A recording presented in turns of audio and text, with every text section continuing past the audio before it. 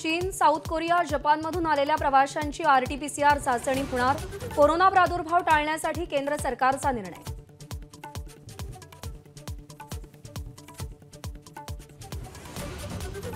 संभाव्य कोरोनाच्या पार्श्वभूमीवर मुंबई आणि ठाणे पालिका प्रशासन अलर्टवर. सप्तशृंगी मंदिरासह अक्कलकोटमधील स्वामी समर्थ तुळजापूर मंदिरातही मास्कची सक्ती.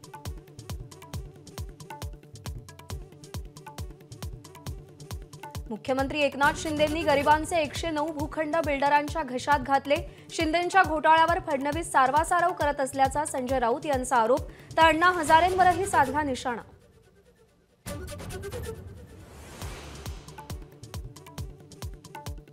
भाजपचे आमदार जयकुमार गोरे यांच्या गाडीला अपघात. अपघातामध्ये जयकुमार गोरे जखमी. पुण्यातल्या रुग्णालयात उपचार सुरू. प्रकृती स्थिर असल्याची डॉक्टरांची माहिती चंद्रकांत पाटील तानाजी सावंत यांच्याकडून तब्येतीची विचारपूस.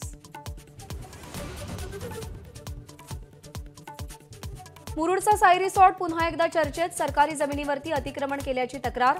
साई रिसॉर्ट अनिल परबांचा असल्याचा सोमई आरोप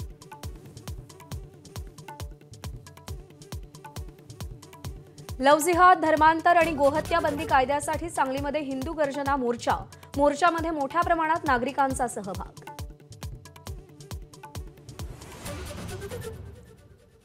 आयसीआयसीआय बँकेच्या माजी सीईओ चंदा कोचर आणि त्यांच्या पतीला सीबीआयकडून अटक. सीबीआय कोर्टामध्ये सुनावणी सुरू. आर्थिक गैरव्यवहार प्रकरणी दोघे जण अटके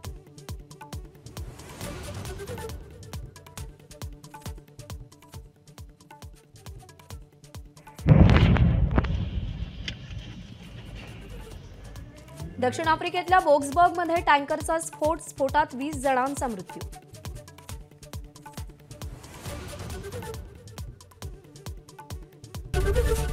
एबीपी माझा. उघडा डोळे बघा नीट.